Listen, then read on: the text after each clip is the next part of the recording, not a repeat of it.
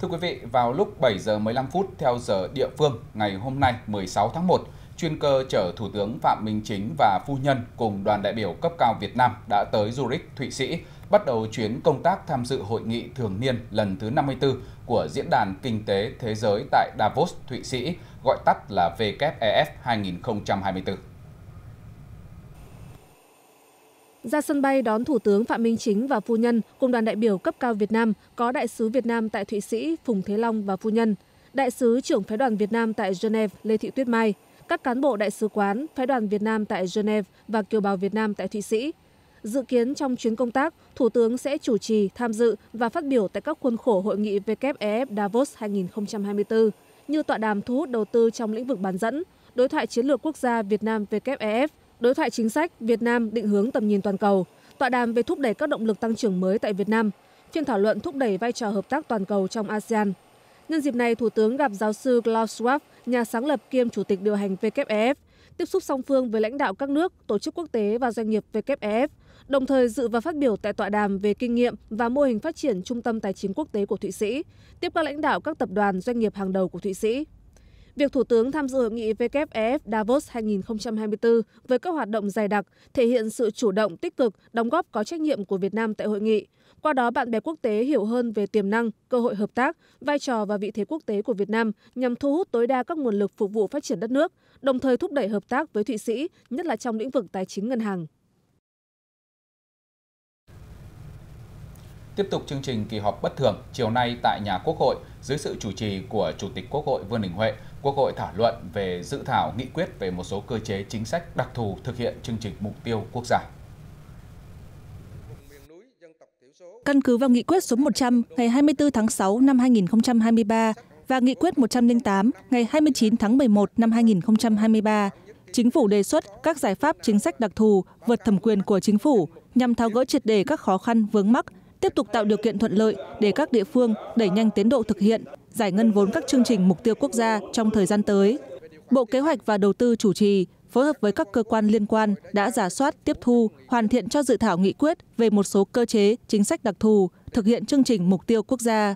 Thảo luận tại hội trường về một số nội dung mang tính đặc thù đại biểu đề nghị cần quy định rõ và phân cấp triệt để tạo điều kiện cho địa phương.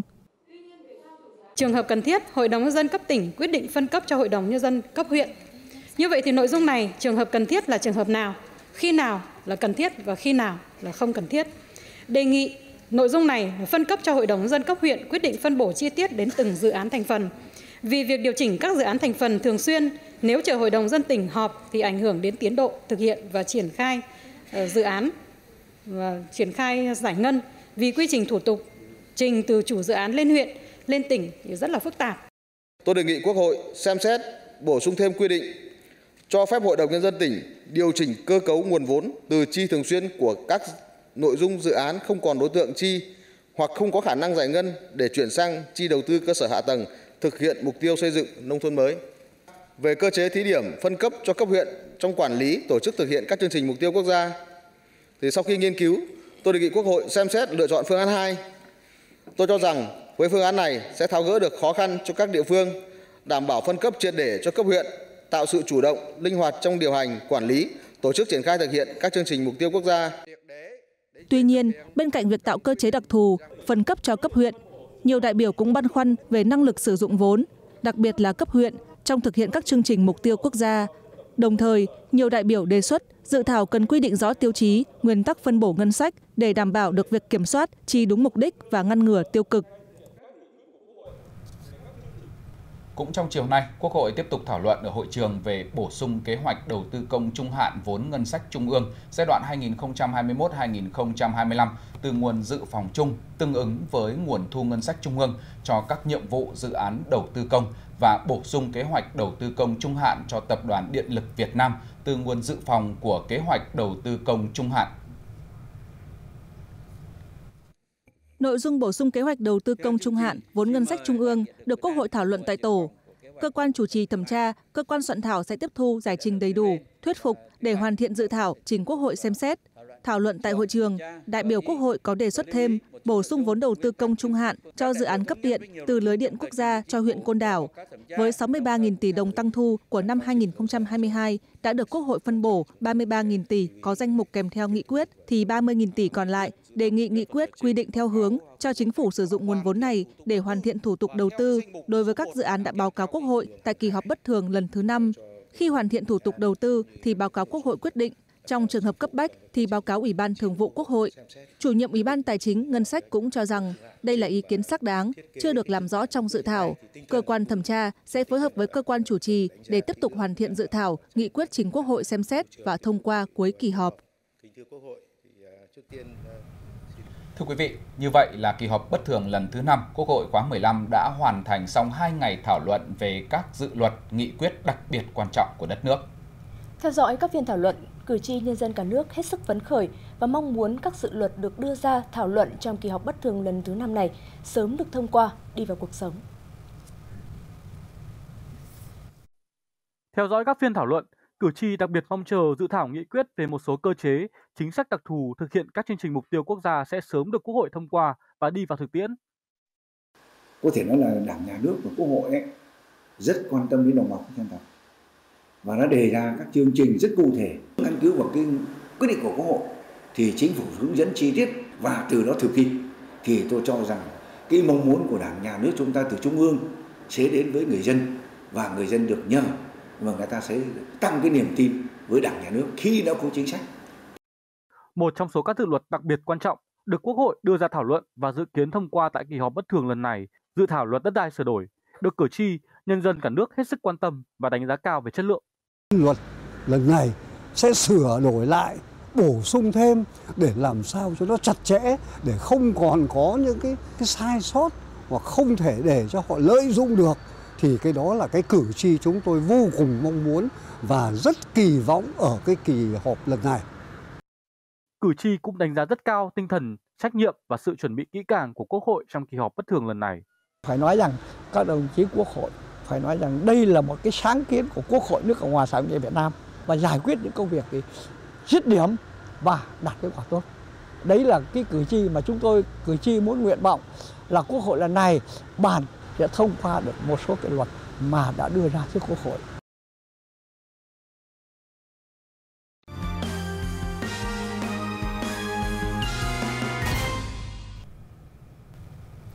Bộ Chính trị vừa quyết định ban hành quy trình kiểm tra của Bộ Chính trị Ban Bí thư. Theo đó, quy trình kiểm tra được tiến hành theo 3 bước, trong đó cán bộ đảng viên thuộc diện kiểm tra mà vi phạm đến mức phải xem xét, xử lý kỷ luật mà chưa tự giác, không nhận trách nhiệm thì tiến hành kiểm tra hoặc chỉ đạo Ủy ban Kiểm tra Trung ương tiến hành kiểm tra khi có dấu hiệu vi phạm.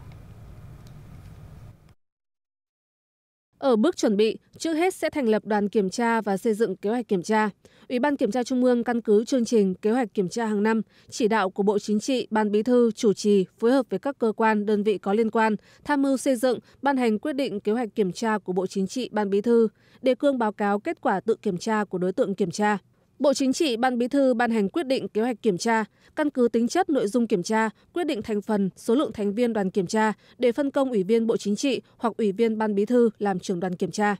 Bước thứ hai là tiến hành kiểm tra, đoàn kiểm tra hoặc đại diện đoàn kiểm tra triển khai quyết định kế hoạch kiểm tra, thống nhất lịch làm việc với đối tượng kiểm tra và đại diện tổ chức đảng, quản lý đảng viên, yêu cầu đối tượng kiểm tra chuẩn bị báo cáo theo đề cương gợi ý, cung cấp hồ sơ tài liệu, chỉ đạo tổ chức cá nhân có liên quan phối hợp thực hiện.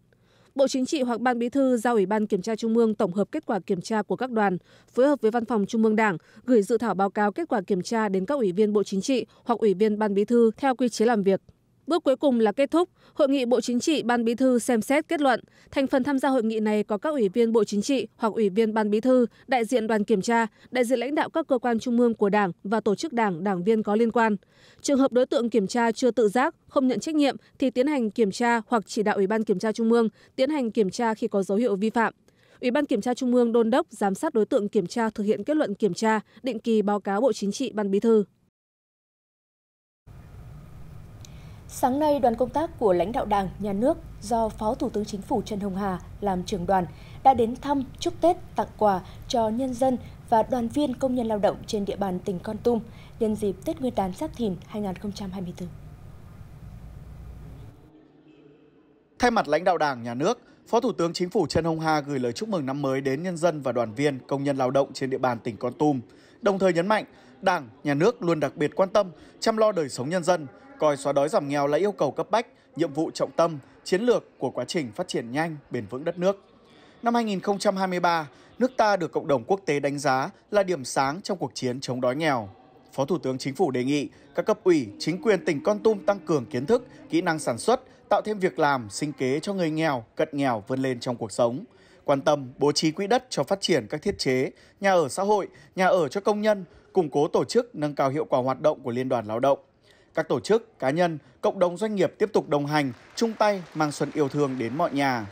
Nhân dịp chuẩn bị đón Tết Nguyên đán Giáp Thìn 2024, Phó Thủ tướng Chính phủ Trần Hồng Hà và lãnh đạo tỉnh Con Tum đã trao 50 xuất quà cho các gia đình có hoàn cảnh đặc biệt khó khăn và 200 xuất quà cho đoàn viên công nhân lao động.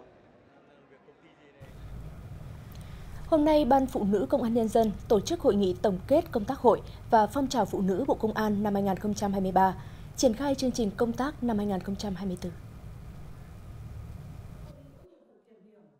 Năm 2023, mặc dù có thay đổi về mô hình cơ quan lãnh đạo hội, Ban Phụ nữ Công an Nhân dân đã chủ động trong công tác điều hành, hướng dẫn, tiếp tục vận dụng linh hoạt sự chỉ đạo định hướng của Trung ương Hội Liên hiệp Phụ nữ Việt Nam, áp dụng vào đặc thù lực lượng công an ngày càng phù hợp và hiệu quả, thông qua sự ủng hộ và triển khai rộng khắp của các cấp hội đối với các hoạt động chương trình lớn như chương trình Mẹ đỡ đầu, đồng hành cùng phụ nữ biên cương, phong trào thi đua phụ nữ công an bản lĩnh, nhân văn, kỷ cương, trách nhiệm vì an ninh Tổ quốc, vì hạnh phúc gia đình giai đoạn 2022-2026. Các hoạt động sự kiện được chú trọng đổi mới cách thức tổ chức, phối hợp, phương thức vận động nguồn lực tổ chức với quy mô lớn đã tạo động lực khí thế sôi nổi trong đời sống của cán bộ, hội viên, phụ nữ. Công tác đối ngoại nhân dân được đẩy mạnh, góp phần nâng cao vị thế của tổ chức hội và phụ nữ công an, lan tỏa hình ảnh đẹp của lực lượng công an nhân dân, của nữ công an Việt Nam tới các nước trong khu vực và thế giới. Đội ngũ lãnh đạo nữ ngày càng phát triển, luôn gương mẫu và hoàn thành trọng trách được giao. Thưa quý vị, Phó Thủ tướng Chính phủ Lê Minh Khái vừa ký quyết định số 38 phê duyệt chiến lược phát triển ngành bảo hiểm xã hội Việt Nam đến năm 2030 nhằm phát triển ngành bảo hiểm xã hội Việt Nam theo hướng chuyên nghiệp hiện đại, thực hiện tốt các chế độ chính sách bảo hiểm xã hội cho người lao động và nhân dân.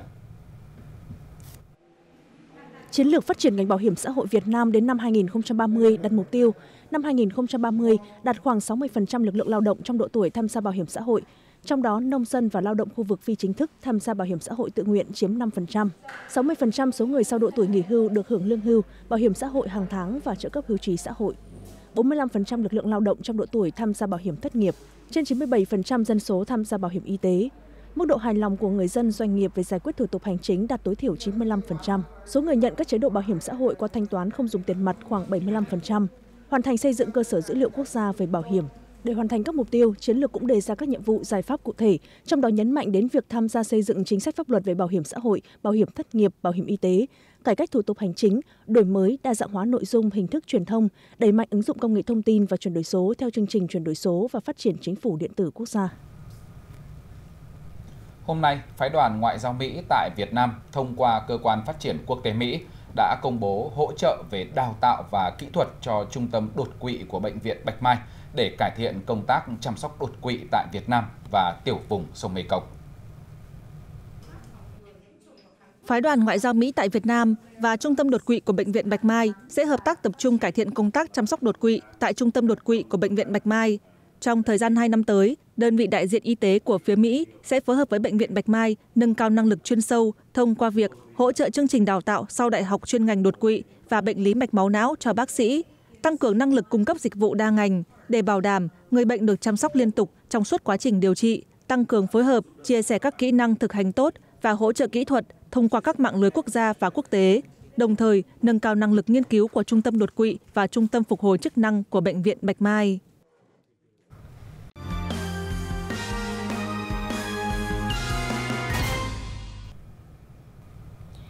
Thủ tướng Chính phủ vừa ký công điện về việc chủ động ứng phó với nguy cơ hạn hán thiếu nước xâm nhập mặn. Thủ tướng yêu cầu các bộ trưởng, chủ tịch Ủy ban nhân dân các tỉnh thành phố trực thuộc trung ương tổ chức theo dõi, chủ động triển khai công tác ứng phó với nguy cơ hạn hán thiếu nước xâm nhập mặn trong những tháng cao điểm mùa khô tới đây.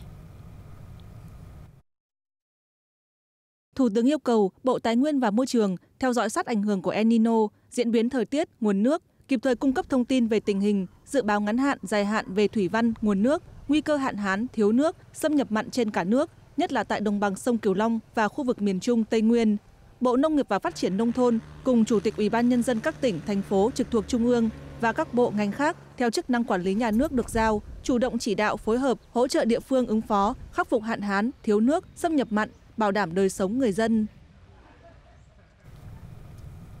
Cục Đầu tư nước ngoài thuộc Bộ Kế hoạch và Đầu tư thống kê, vốn đầu tư nước ngoài vào Việt Nam mới tăng mạnh cả về vốn đầu tư, số dự án đầu tư mới, tập trung nhiều vào 10 địa phương có tổng số dự án đầu tư mới, chiếm tới 78,6% số dự án mới và 74,4% số vốn của cả nước.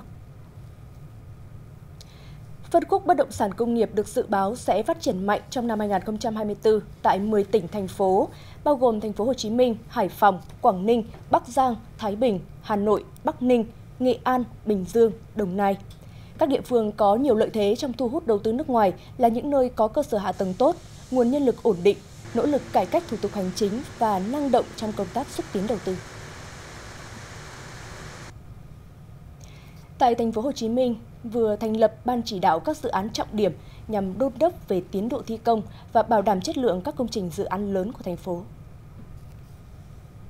Ủy ban nhân dân thành phố Hồ Chí Minh vừa có quyết định thành lập ban chỉ đạo các dự án trọng điểm trên địa bàn. Chủ tịch Ủy ban nhân dân thành phố Phan Văn Mãi làm trưởng ban chỉ đạo. Ban chỉ đạo sẽ kiểm tra đôn đốc chủ đầu tư công trình, dự án, các tổ chức tư vấn, nhà thầu, bảo đảm tiến độ, chất lượng công trình, đề xuất mời cơ quan thanh tra, kiểm toán, kiểm tra đột xuất định kỳ các công trình, dự án khi thấy cần thiết để phòng ngừa từ xa, từ sớm các sai sót nếu có. Nghiên cứu tham mưu Ủy ban nhân dân thành phố chỉ đạo triển khai đầu tư và đẩy nhanh tiến độ các dự án trọng điểm như tuyến metro số 1, metro số 2, đường vành đai 3, đường vành đai 4, rạch xuyên tâm, kênh Tham Lương, Bến Cát, kết hợp với việc khai thác các quỹ đất xung quanh dự án trọng điểm.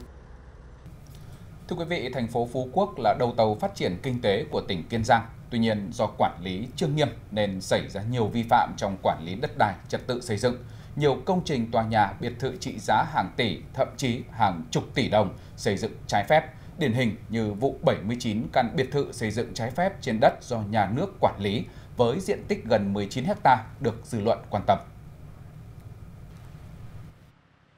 Từ năm 2018 đến nay, Ủy ban Nhân dân 8 xã, phường của thành phố Phú Quốc chưa kịp thời cập nhật, chỉnh lý thông tin biến động thửa đất, chủ sử dụng, mục đích sử dụng đất thực hiện trên hồ sơ địa chính bản giấy, đồng thời chưa thực hiện trách nhiệm quản lý để xảy ra 744 trường hợp chiếm đất, xây dựng nhà ở trái pháp luật, nhưng không có biện pháp xử lý, ngăn chặn kịp thời. Trong đó có những khu vực vi phạm phức tạp, gây hậu quả nghiêm trọng. Bên cạnh đó, người dân bức xúc về việc nhiều căn bungalow, kiểu nhà diện tích nhỏ, một tầng để phục vụ du lịch, mọc lên trên khu bảo tồn biển tại xã Hàm Ninh. Mặc dù chính quyền địa phương đã cưỡng chế tháo dỡ 14 căn bungalow, thế nhưng hiện vẫn còn 9 căn chưa được tháo dỡ và nơi đây vẫn tiếp nhận khách đến nghỉ dưỡng. Liên quan đến vụ việc xảy ra những vi phạm, khuyết điểm trong công tác lãnh đạo, chỉ đạo, tổ chức thực hiện về quản lý, sử dụng đất đai. Mới đây, Ủy ban Kiểm tra tỉnh Kiên Giang đã xem xét quyết định xử lý kỷ luật bằng hình thức khiển trách ông Quỳnh Quang Hưng, Chủ tịch Ủy ban Nhân dân thành phố Phú Quốc. Chiều nay, phiên xét xử sơ thẩm lưu động nhóm khủng bố tấn công trụ sở xã Ea Cờ Tu và Ea Tiêu, huyện Trư Quynh, tỉnh Đắk Lắk đã bước vào phần tranh luận với việc công bố bản luận tội của đại diện Viện Kiểm sát. Sau khi hoàn tất các thủ tục, đại diện Viện Kiểm sát Nhân dân tỉnh Đắk Lắc giữ quyền công tố đã công bố bản cáo trạng truy tố 100 bị cáo. Theo đó, có 53 bị cáo bị truy tố về tội khủng bố nhằm chống chính quyền nhân dân, quy định tại khoản 1, điều 113 Bộ Luật Hình sự. 27 bị cáo bị truy tố về tội khủng bố, quy định tại điểm A khoản 2, điều 299 Bộ Luật Hình sự. 18 bị cáo bị truy tố về tội khủng bố, quy định tại các điểm A, B khoản 2, điều 299 Bộ Luật Hình sự. Bị cáo Lê Văn Nghĩa bị truy tố về tội tổ chức cho người khác xuất cảnh nhập cảnh trái phép, quy định tại khoản 1 điều 348 Bộ luật hình sự. Bị cáo Y Sinh Bia bị truy tố về tội che giấu tội phạm, quy định tại điểm A khoản một điều 389 Bộ luật hình sự. Viện Kiểm sát nhận định đây là vụ án có tính chất đặc biệt nghiêm trọng, xâm hại đến tính mạng, sức khỏe của cán bộ người dân, phá hủy tài sản của cơ quan tổ chức cá nhân trên địa bàn tỉnh Đắk lắc mục đích nhằm lật đổ chính quyền nhân dân để thành lập cái gọi là nhà nước đề ga. Phần lớn các bị cáo phạm tội do thiếu hiểu biết nên đã bị Imut Mlo và nhóm phản động lưu vong ở Mỹ khác dùng nhiều thủ đoạn lôi kéo, rụ rỗ và đe dọa, buộc tham gia hoạt động khủng bố phá hoại. Quá trình điều tra, các bị cáo thành khẩn khai báo, bày tỏ ăn năn hối cải, thừa nhận phạm tội do thiếu hiểu biết và bị đe dọa. Họ xin được Đảng, Nhà nước xem xét khoan hồng, giảm nhẹ hình phạt. Hôm nay, Công an Thành phố Hồ Chí Minh cho biết vừa ra quyết định khởi tố bị can, thi hành lệnh bắt tạm giam đối với 6 người là lãnh đạo, nguyên lãnh đạo Cục Đăng kiểm Việt Nam, lãnh đạo và cán bộ phòng tàu sông Cục Đăng kiểm Việt Nam về tội lợi dụng chức vụ quyền hạn trong khi thi hành công vụ. 6 bị can bao gồm Nguyễn Vũ Hải, Phó Cục trưởng Cục Đăng kiểm Việt Nam, Bùi Quốc Hưng, trưởng phòng tàu sông, Đậu Ngọc Bình, Phó trưởng phòng tàu sông, Phan Huy Liêm, đăng kiểm viên phòng tàu sông, Vũ Văn Sơn, đăng kiểm viên phòng tàu sông và Trần Kỳ Hình, nguyên Cục trưởng Cục Đăng kiểm Việt Nam. Các quyết định và lệnh trên đã được Viện Kiểm sát Nhân dân cung cấp phê chuẩn. Cơ quan Cảnh sát điều tra đã tiến hành khám xét nơi ở, nơi làm việc của các bị can theo quy định của pháp luật. Được biết, đây là tiến trình điều tra mở rộng về các sai phạm tiêu cực có liên quan đến hoạt động đăng kiểm thủy nội địa xảy ra tại Cục Đăng kiểm Việt Nam và các chi cục đăng kiểm.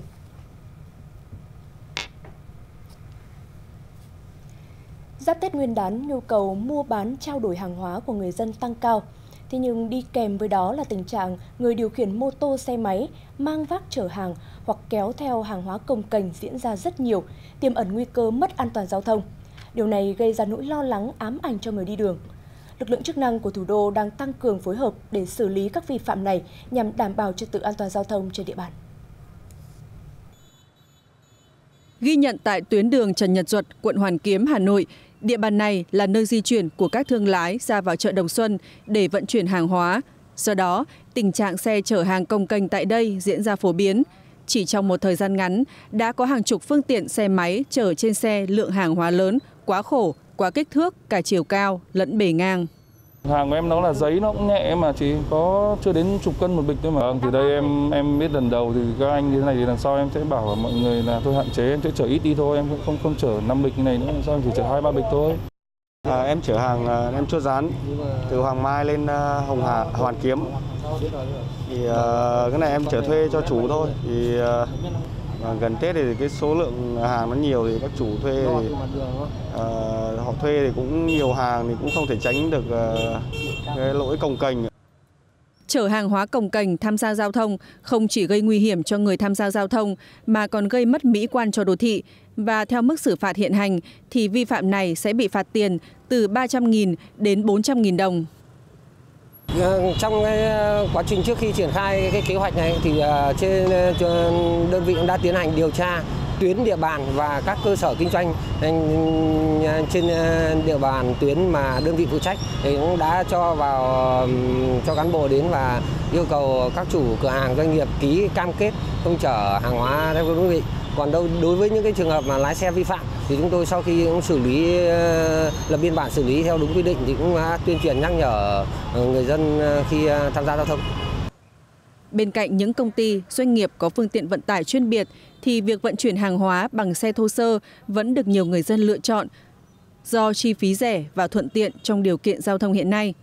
Để hạn chế những vụ tai nạn đáng tiếc từ hành vi chở hàng hóa công kềnh, cần sự vào cuộc mạnh mẽ, quyết liệt từ lực lượng cảnh sát giao thông, chính quyền địa phương và ý thức tự giác của người tham gia giao thông trong việc chấp hành các quy định của pháp luật. Thưa quý vị, nếu như trước đây, thời gian này là thời điểm tiêu thụ mạnh rượu Tết tại làng nghề truyền thống Phú Lộc, huyện Cẩm Giàng, tỉnh Hải Dương, thì năm nay tại làng nghề này, lượng sản lượng sản phẩm được bán ra giảm từ 50 đến 70% so với mọi năm.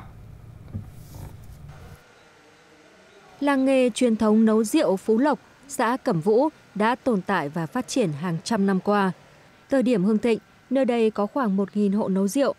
Tuy nhiên do sự cạnh tranh của thị trường, nên hiện tại làng nghề Phú Lộc chỉ còn hơn 200 hộ còn làm nghề. Sau đợt dịch Covid và sau lại nghị định 100 của chính phủ cho nên là cái sản lượng rượu nó cũng kém đi rất là nhiều. Trước đây ờ, chưa có dịch thì có thể là tiêu thụ ờ, nghìn lít nhưng mà bây giờ nó chỉ khoảng tầm khoảng tầm độ 200 lít thôi. Các cái đơn vị chuyên sản xuất rượu nó không đạt chất lượng. Giá thành của họ thì rất là rẻ, họ có thể bán mười hơn chục nghìn một lít thôi. Cho họ chiết khấu cho nhà hàng có đến 5-60% thì tất nhiên là nhà hàng người ta sẽ lấy cái sản phẩm nó không chất lượng và giá thành nó thấp thì rượu truyền thống này nó khó cạnh tranh. về cơ chế chính sách toàn bộ những cái thương hiệu rượu ấy, chúng tôi sẽ hỗ trợ bằng các biện pháp để làm sao để đạt cái chứng chỉ ôn cốp bốn sao 5 sao để cho nó nó đảm bảo. Thì, uh, thị trường rượu năm nay và đặc biệt là hai năm gần đây thì tiêu thụ cũng cũng rất là kém cũng cũng không không như trước trước thì ờ, đối với nguồn rượu tiêu thụ thì nó nó nó nếu mà tầm này về thì cứ ở các cái công ở công ty rượu và các cái làng trong làng nghề rượu thì xe pháo vào rất đông thế nhưng mà đến hiện tại thời điểm này cũng cũng rất là nặng là, là rất kém có thể do nền kinh tế khó khăn cũng như thói quen sử dụng rượu bia của người dân đang dần thay đổi. Vì vậy, để phát triển làng nghề truyền thống Phú Lộc, những hộ nấu rượu cần nâng cao chất lượng sản phẩm, hướng tới sản phẩm đạt chứng chỉ ô cốp, cũng như nghiên cứu các sản phẩm mới để phù hợp với thị trường hiện nay. Quý vị thân mến, còn gần một tháng nữa là đến Tết Nguyên đán Giáp Thìn 2024. Những ngày này, các hộ trồng hoa tại phường Đông Cương, thành phố Thanh Hóa đang tất bật chuẩn bị những công đoạn cuối cùng cho vụ hoa Tết. Gia đình anh Trần Đình Bình theo nghề trồng hoa ở Đông Cương đã 25 năm. Vụ hoa Tết năm nay, nhà anh trồng 5.000 cây đồng tiền, 9.000 cây hoa ly và 6 xạ hoa hồng. Hiện vợ chồng anh đang đánh nụ cho hoa, chuẩn bị sẵn sàng để từ 15 đến 18 tháng chạp, thương lái vào gom hoa đi phân phối. Nói chung là cái thời tiết mà ấm ấm như thì thì cũng được nhưng mà cũng có cái cũng phải lo. Có cái thì sợ sớm, cái cái thì muộn thôi thôi, thôi thì cái nào nó vào thì cứ vào. thì uh, công việc thì trồng cái ngày tối ngày ra vườn làm thế này thôi. Để tăng giá trị trên đơn vị diện tích, các hộ dân ở Đông Cương đã đầu tư nhà lưới, áp dụng kỹ thuật mới vào trồng trọt. Theo ước tính, mỗi hecta trồng hoa đem lại thu nhập bình quân khoảng 500 triệu đồng. Bên cạnh giá trị kinh tế, những vạt hoa ở Đông Cương cũng góp phần tạo nên những gam màu thú vị cho thành phố Thanh Hóa. Vào vụ Tết thì nó cái diện tích mà trồng cái các cái loại hoa truyền thống hoa hồng hoa cúc rồi thì ừ, vào dịp Tết thì nó các hộ để tăng cường hơn cái diện tích là trồng hoa đồng tiền và cái hoa ly. Đông Cương là thủ phủ hoa lớn nhất của tỉnh Thanh Hóa. Cả phường có hơn 200 hộ trồng hoa trên diện tích 100 hecta. Sau nhiều năm, chủng loại hoa ở Đông Cương đã đa dạng hơn, cách trồng và chăm sóc hoa cũng chuyên nghiệp hơn. Nhờ trồng hoa, điều kiện kinh tế của các hộ dân nơi đây đã cao hơn mặt bằng chung của tỉnh.